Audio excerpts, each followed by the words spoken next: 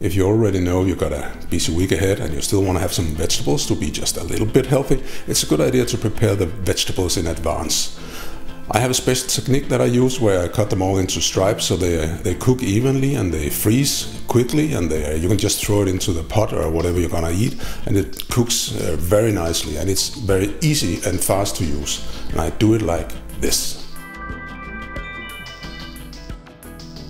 I start off by cleaning the vegetables. I cut off the ends. This has been in the fridge and for this I only need half the celery, so I cut it at the middle Same with the leeks, at the dry end and the root, cut those off. The scallions or the green onions, they remind a lot of the leek, so I cut those ends off too. And the same with the zucchini and the red pepper. These are long peppers, so I cut them in the middle. Then I half them. Then it's easy when you split the half with the leek and uh, remove the seeds. We don't want those in a big bell pepper like this, they taste of nothing. The carrots, cut off the ends. And if any of the vegetable has uh, faults or dirty or something that's a bit old, you just cut it off. Now they are ready to be, they are washed and they're ready to be cut. Cut it as thinly as possible, the celery. This works fine. The spring onion.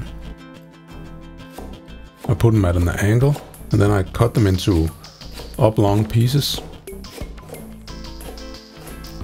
That's very, that it looks de decorative and they cook quickly and they're nice to eat because they fit on a spoon or a, or a fork. The leek, I half those so they can balance. Then I just cut them and they, they fall apart so they become julienne strips for, by themselves.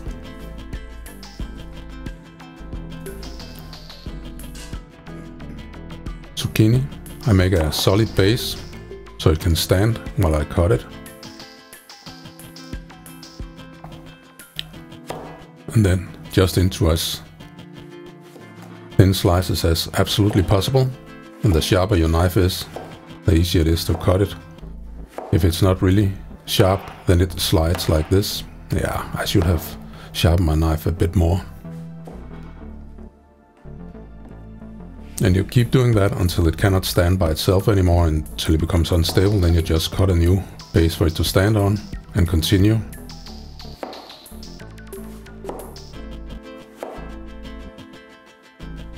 And uh, the easiest way to julienne these, cut them into strips, that's the long way here.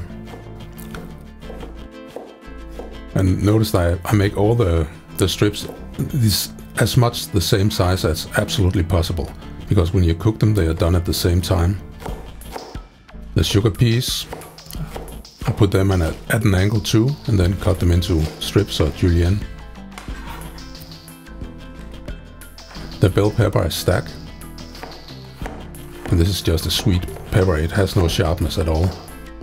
I, I prefer to add that by itself, not in the vegetable mix. Clean the carrot if you if you want to. A clean carrot like this, you can you can add it, no problem. Half it, so you get shorter strips. Cut it into sli uh, slices, not slides. Cut them as thin as possible, the same thickness as all the other vegetables, then stack them and put the knife at an angle and cut. If you cut the, the long end, then they, they slide and you cannot hold them, so this is the most efficient. And you get nice long strips anyway. Now you gotta mix them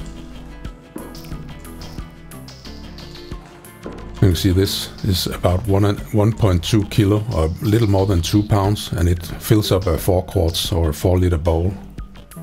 And I have this 3 deciliter, that's a little more than a cup. And I know it holds 100 grams, that's 3, that's 3 ounces. And it's practical to have a, a tool like this to to pour the vegetables with because you don't have to measure it on the scale that you get 100 grams or 3 ounces every time. You just fill this to the rim. That's a lot easier. You can look in your own kitchen and find what you have and measure it up so you know it's always the same amount. And whatever is left over, you just share with the bags. And you can freeze these as they are. Just fold the plastic around them or you can pull out the, the air. Then they don't take up as much space in the freezer. Do it like this, there's a hole and then suck. Yeah, too old for this. Make a knob and you got sort of sous vide vacuum packed vegetables for the freezer. That's practical. And there's 12 here, that's about 3 ounces in each, approximately 100 grams. And you can find the list of ingredients and the recipe on Kvalifood.